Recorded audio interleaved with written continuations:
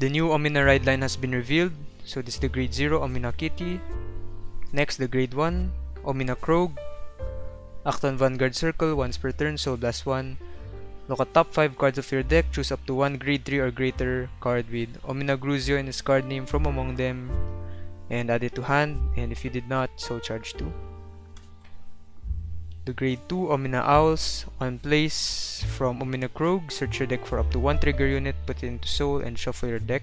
If you put a card into Soul, draw a card. This is the grade 3 Evil Eye Dragon Omina Gruzio. On place on Vanguard Circle, check top 5 and choose up to one card with Omina Gruzio in its card name or up to one mask of Hydrogum, Hydrogrum from among them, reveal it and put it to hand, shuffle. Adds consistency to the deck. Second skill, Vanguard Circle once per turn, soul best 1. Choose up to one trigger unit from your drop, bind it, and until end of turn, your opponent cannot increase power with trigger effects of cards with the same trigger icon as any card in your bind zone. This is really interesting reminds me of the Link Joker unit. I think it's Brand, the one that makes your triggers opposite. So instead of healing, you deal, you get the damage.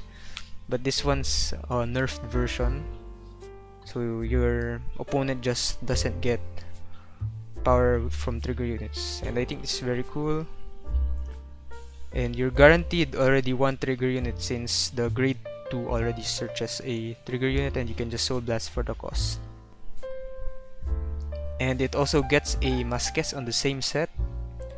Can only be ridden from a grade 3 Omina Gruzio. And then act once per turn, remove a Om Omina Gruzio, choose up to one trigger unit from your drop, bind it, and this unit gets all of your opponent's shields with the trigger icon as any card in your bind zone gets shield minus 5000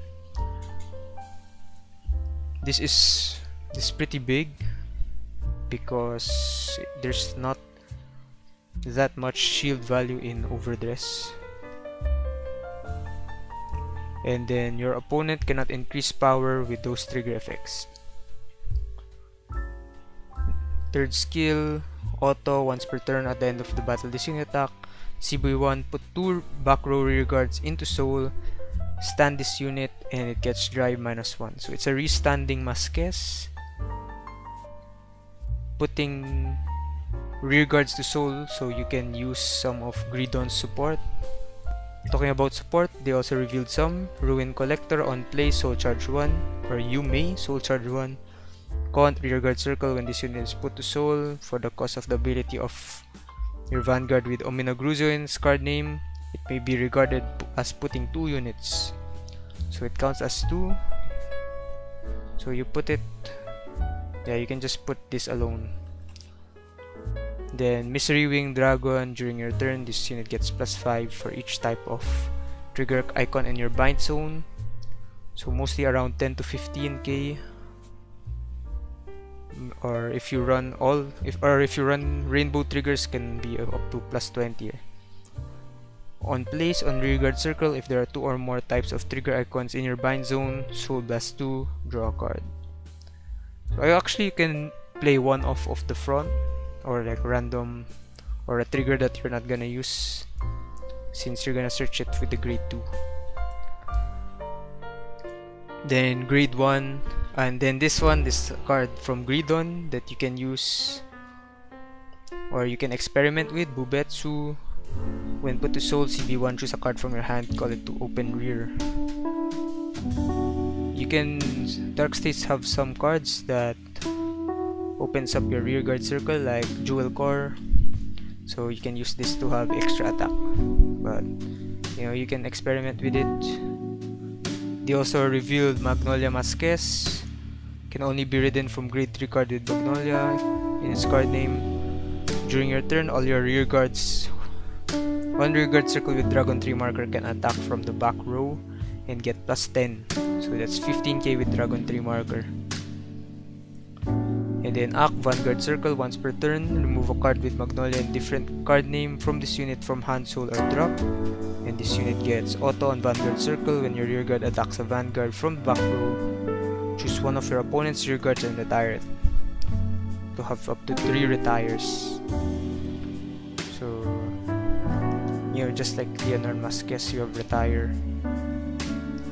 But you will need a lot of CB for this if you want to fill your field since it will cost 1 CB for each Dragon 3 marker. And then Magnolia Masques support, Force Grow Dragon on place. Other than battle phase, if you have Magnolia Masques as Vanguard, CB1 choose a 3 or discard from your drop up to the same number of Dragon 3 markers on your rear. Call them the rear, rear guard circle. So you can